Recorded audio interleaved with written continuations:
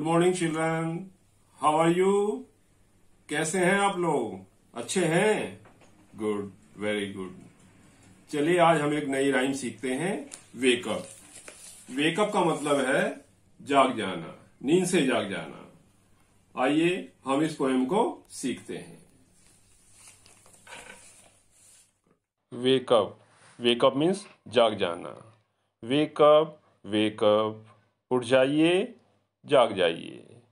It's a lovely day lovely means प्यारा। प्यारा दिन है अच्छा दिन है।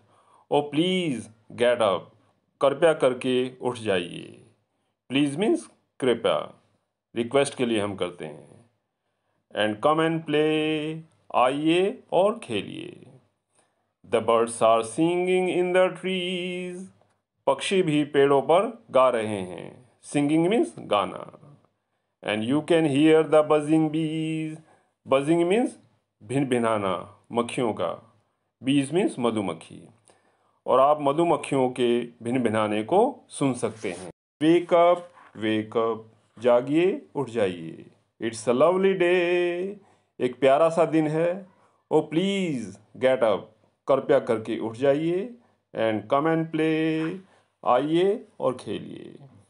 It's much too late to lie in bed बिस्तर पर पड़े पड़े बहुत देर हो चुकी है।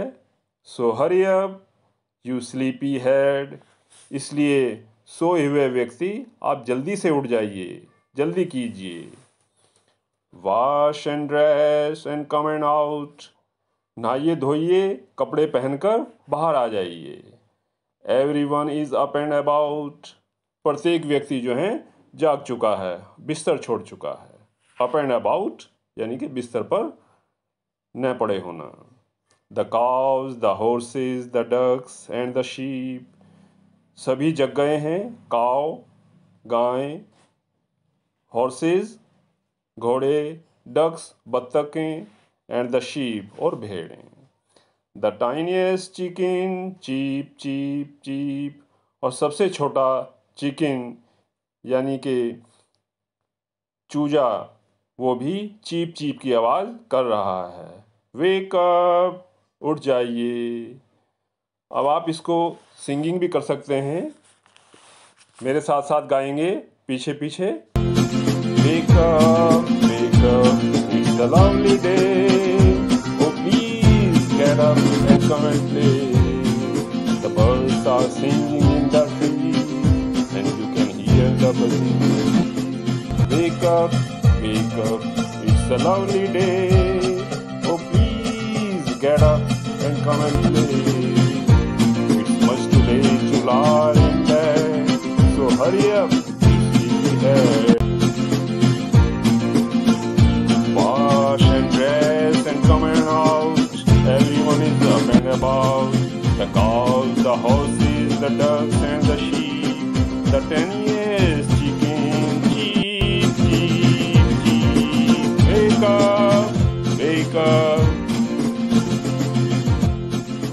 बच्चों न्यू वर्ड्स जो हमने इस पोएम में सीखे हैं लवली लवली मीन्स प्यारा बजिंग भिन भिनाना भिन भिनाहट मधुमक्खियों की स्लीपी हेड सोया हुआ व्यक्ति टाइनेस्ट सबसे छोटा प्राणी, सबसे छोटा टीनी का टाइनी का टाइनेस्ट अब हम एक्सरसाइज करते हैं रीडिंग इज़ फन में।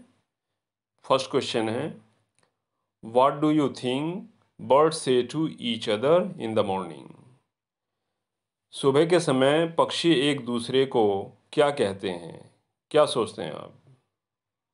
आंसर है I think bird say good morning to each other मैं सोचता हूँ कि पक्षी एक दूसरे को गुड मॉर्निंग कहते हैं।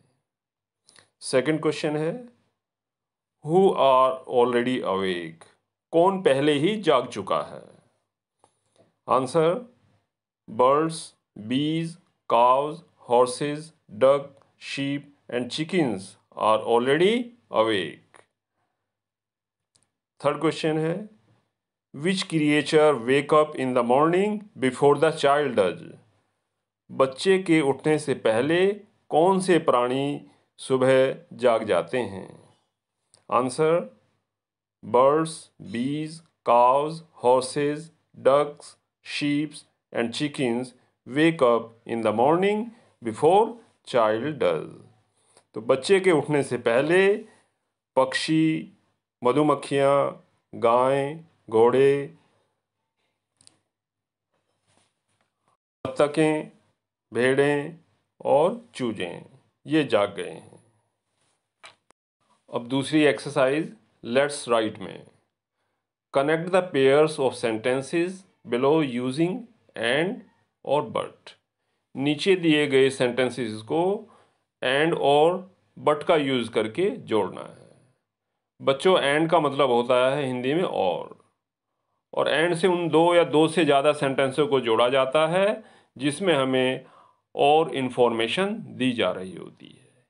और सूचना और कोई जानकारी हमें दी जा रही होती है। ऐसे सेंटेंस को हम एंड से जोड़ते हैं।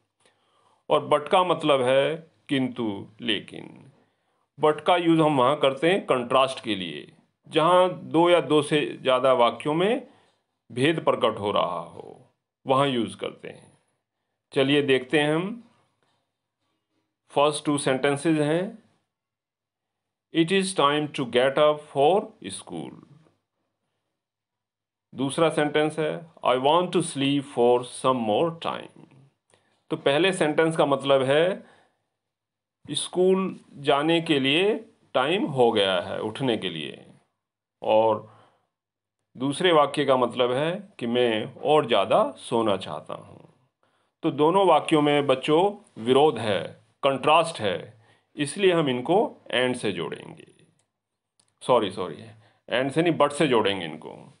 It is time to get up for school but I want to sleep for some more time okay next sentence is Sheela got some chocolates for her birthday Sheela को उसके जन्मदिन के लिए कुछ chocolate milli. She got some new clothes too वह उसे नए कपड़े भी मिले हैं। तो इन वाक्यों में जो है और इन्फॉर्मेशन दी गई है। तो इसलिए इन दोनों को हम एंड से जोड़ेंगे। Sheela got some chocolates for her birthday, and she got some new clothes too. Third pair में चलते हैं। Everyone has gone to sleep. प्रत्येक व्यक्ति सो चुका है। I want to read my book. मैं अपनी पुस्तक पढ़ना चाहता हूँ। तो इन दोनों वाक्यों में भी कंट्रास्ट है। इसलिए हम इन दोनों वाक्यों को भी बट से जोड़ेंगे। Everyone has gone to sleep but I want to read my book next pair में चलते हैं बच्चों। Raju plays cricket he also plays hockey तो इन दोनों वाक्यों में इंफॉर्मेशन दी जा रही है, इसलिए इनको हम एंड से जोड़ेंगे। क्योंकि इनमें कंट्रास्ट नहीं है, भेद नहीं है। Raju plays cricket and he also plays hockey filling the blanks according to example given below नीचे जो एग्ज़ाम्पल दिया गया है, उसके आधार पर हमें फिलिंग द ब्लैंक्स पूरे करने हैं। एग्ज़ाम्पल है टाइनी टाइनियर टाइनेस्ट बच्चों, ये होते हैं एग्जेक्टिव्स इनको एग्जैक्टिव कहते हैं। विशेषता बताने वाले शब्द टाइनी का मतलब छोटा टाइनियर और छोटा और टाइनिएस्ट सबसे छोटा। तो इसी एग्ज़ाम्पल का प्रयोग करते हुए हम नीचे देखेंगे। पहला दिया है बिग इसके साथ आएगा बिगर बिगेस्ट बिग मीन्स बड़ा बिगर और बड़ा बिगेस्ट सबसे बड़ा। स्लीपी स्लीपियर स्लीपिएस्ट आगे देखते हैं late later latest round rounder roundest small smaller smallest good better best good means अच्छा बेटर मीन्स और अच्छा बेस्ट मीन्स सबसे अच्छा ओके okay, बच्चों आपने पोयम भी सीख ली और इसकी जो एक्सरसाइज है वो भी सीख ली। अब आप एक काम करेंगे ड्राइंग करेंगे और ड्राइंग में बनाएँगे आप जो है मॉर्निंग सीन सुबह का दृश्य बनाएँगे। सुबह उगता हुआ सूर्य और पेड़, पौधे, पहाड़, है ना, पशु, पक्षी, जैसा कि आपने इस पोयम में सीखा है। वैसी ड्राइंग करेंगे आप। अच्छा लगा बच्चों?